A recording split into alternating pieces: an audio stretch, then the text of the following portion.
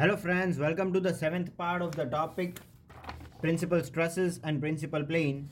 Uh, till now we have understood all this content in this module that is principal plane and principal stresses, equations for normal stress, tangential stress and resultant stresses for all general cases.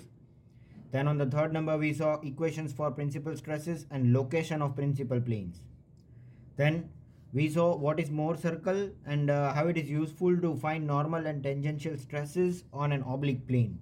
On any particular plane, we found how can we uh, use Mohr circle method that is a graphical method to find these tangentials and normal stresses. Then we saw sign convention for Mohr circle and all the numerical problems. And uh, at last, we saw complementary shear stresses.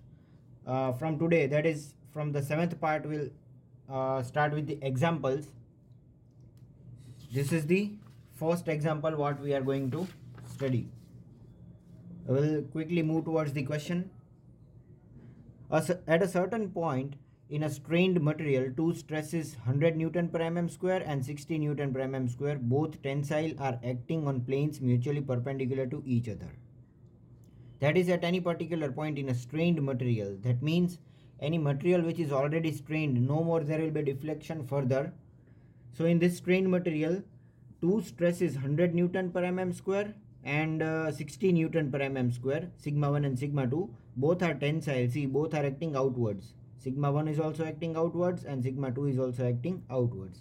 Both are tensile. Uh, acting on planes mutually perpendicular to each other. See, both the planes are at 90 degree. Find out normal, tangential and resultant stresses on plane inclined at 30 degree. See at first we need to find normal, tangential and resultant stresses. Uh, we already know the equations what we have studied in theory.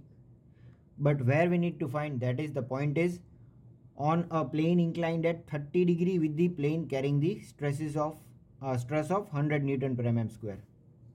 So the plane carrying uh, 100 Newton per mm square stresses uh, the sigma 1, the vertical one this vertical plane might be having might be carrying this sigma 1 100 newton per mm square.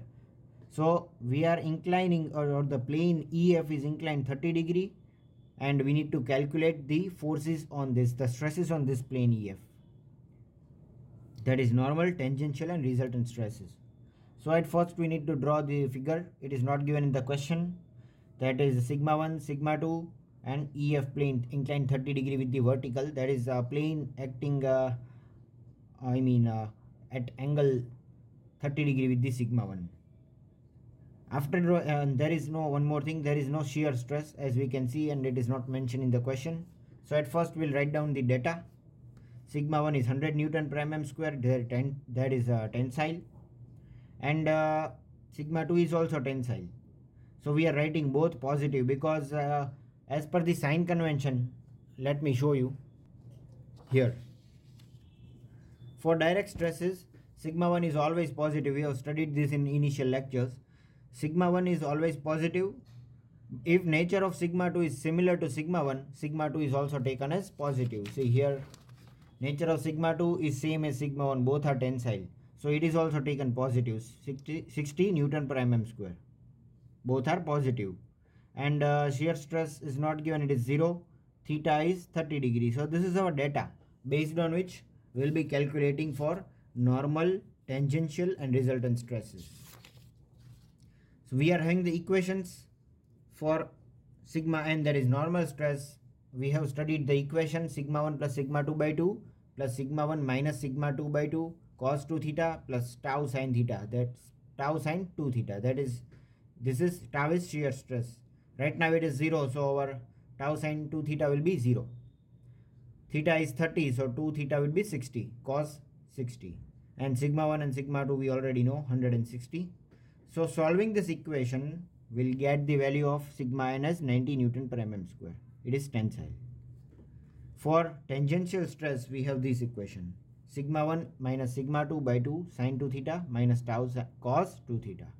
This is 0 because it is having a stress a shear stress. Theta is 30 sine 60 solving this we'll get 34.64 Newton per mm square.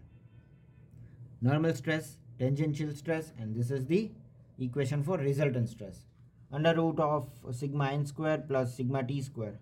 that is 90 square 34.64 square whole under root answer will be 96.43 newton per mm square you can try and solve it in calculator you can verify the answer so these are our required results from this question we acquired finally normal tangential and resultant stresses.